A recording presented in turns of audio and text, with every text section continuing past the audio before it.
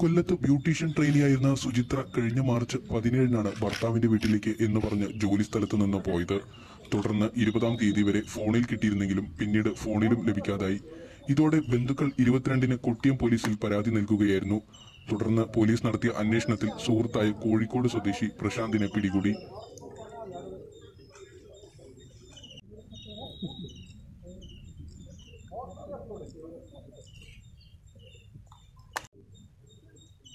ಚೆನ್ನಾಗಿ